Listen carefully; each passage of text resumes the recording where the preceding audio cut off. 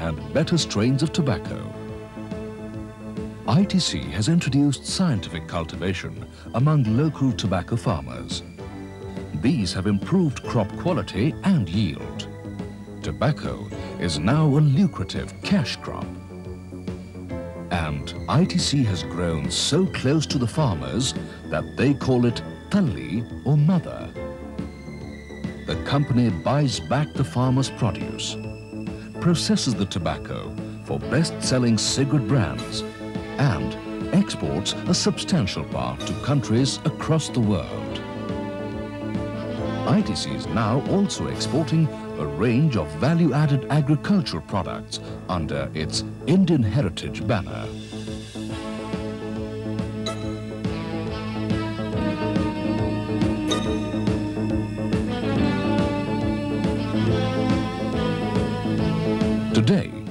Spurred on by ITC, the people of Andhra Pradesh have put the state on the international tobacco map, with India becoming the third largest producer of tobacco in the world.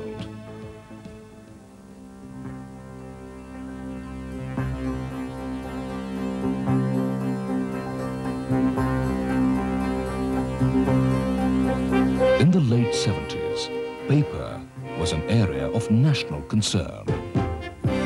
The Andhra Pradesh government invited ITC to enter this core sector industry. The company responded, and this led to a further strengthening of roots. It was 1979. Bhadrachalam, a temple town in the backward area of Sarapaka, would never be the same again. ITC Bhadrachalam Paperboards Limited, a company promoted by ITC, transformed a rural neighborhood into a progressive industrial community by setting up a modern state-of-the-art plant, creating opportunities for employment, providing housing and education, promoting social welfare supporting local farmers.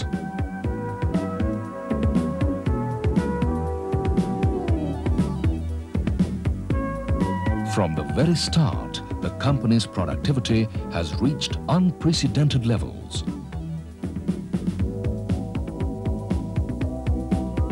Today, it manufactures a wide range of paper and board products that find increasing application in India and new markets abroad.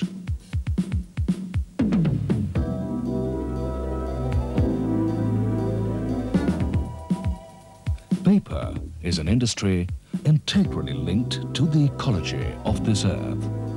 And the company has borne this in mind from its very inception. Custom-made electrostatic precipitators control air pollution, while a modern effluent treatment plant purifies the water that is returned to the Godavari. This treated water is so rich in nutrients that farmers tap the pipeline for irrigation. Management of forest resources has been carefully planned. Social forestry involves the farmers. Clonal plantations through the biotechnology route are rapidly increasing yield. Cyclical afforestation keeps the green balance intact. For ITC, this project is a shining example of running industry profitably while caring for the land and the people behind its success.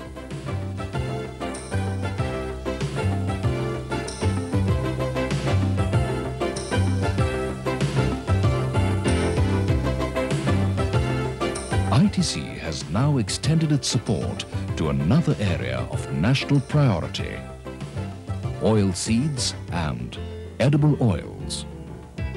Skills and strengths gained from tobacco operations would prove to be of great help. In the drought-prone district of Kurnool, a modern seed research center was set up international collaborations were formed. men and material from India and abroad were brought together. And in May 1988, the Agri-Businesses Division was ready for takeoff.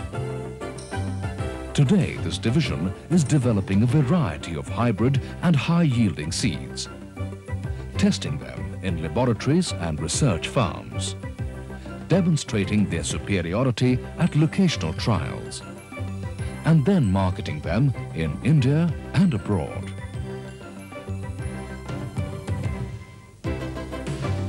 A noteworthy success in this area is the development of the sunflower hybrid AH3425, ranked first by the Indian Council for Agricultural Research for its high yield and oil content.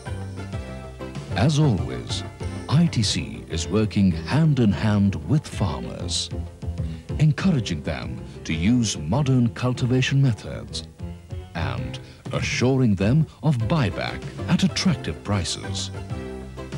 Today, Andhra Pradesh has become the largest oilseed producer in the country.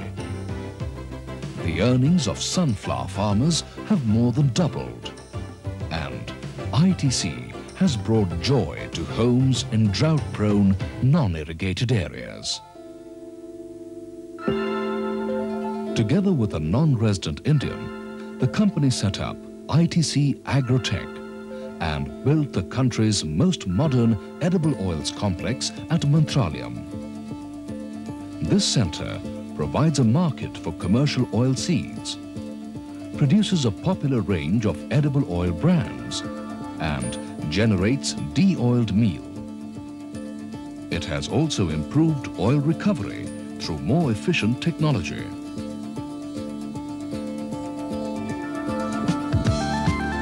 This association with Andhra Pradesh has made ITC the largest processor of refined edible oils and the largest exporter from the oilseed sector.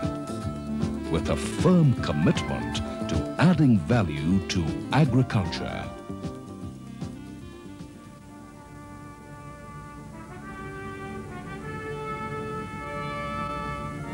These are three chapters of an ongoing story.